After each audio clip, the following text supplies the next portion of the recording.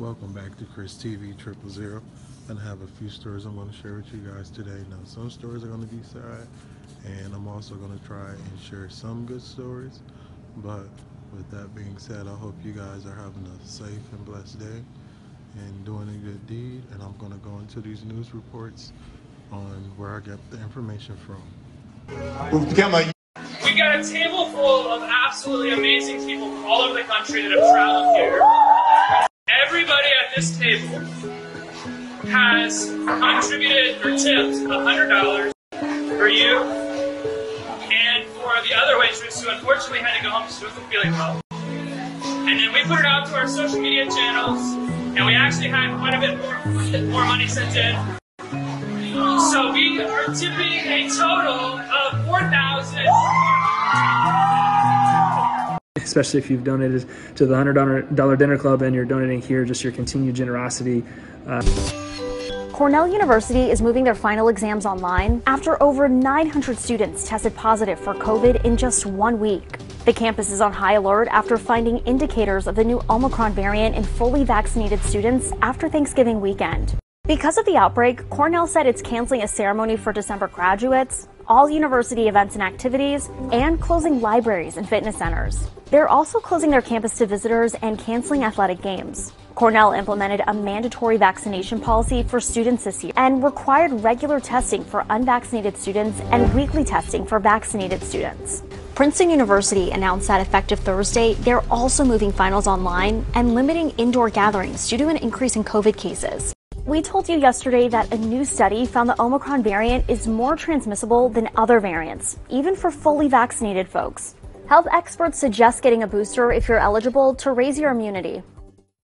Derek Chauvin changed his not guilty plea on Wednesday and pleaded guilty to federal charges of violating George Floyd's civil rights. Chauvin also pleaded guilty in a separate federal charge for a case involving a 14 year old boy during an encounter in 2017. The move allows him to avoid another high profile trial after he was convicted this year of murder and manslaughter in Floyd's death. In September, the former Minneapolis police officer pleaded not guilty to both charges. As part of this plea deal, federal prosecutors asked for Chauvin to be sentenced 20 to 25 years in federal prison with five years of supervised probation. He's currently serving a 22 and a half year sentence for his state case. The judge is expected to sentence Chauvin at a later time.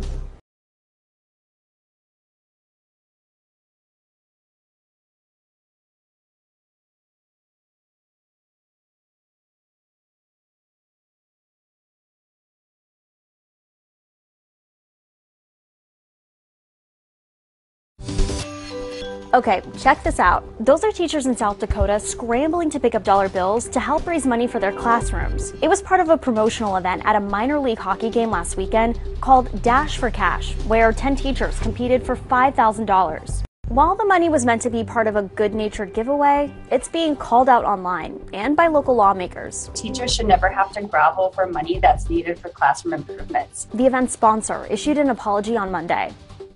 We're less than a month away from the anniversary of the January 6th Capitol riot.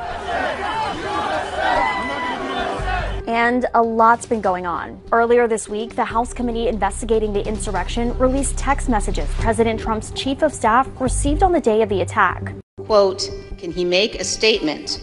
Ask people to leave the Capitol, Sean Hannity urged. As the violence continued, one of the president's sons texted Mr. Meadows, quote, he's got to condemn this ASAP. Cute. Cuter. Cutest. Guess I'm taking all three.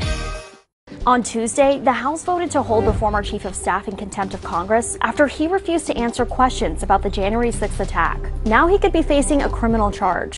Also on Tuesday, the DC Attorney General filed a lawsuit against the Proud Boys and the Oath Keepers, asking for monetary damages for injuries to police, property, and other costs related to the riot. He says he plans to collect, quote, every penny he can from the groups.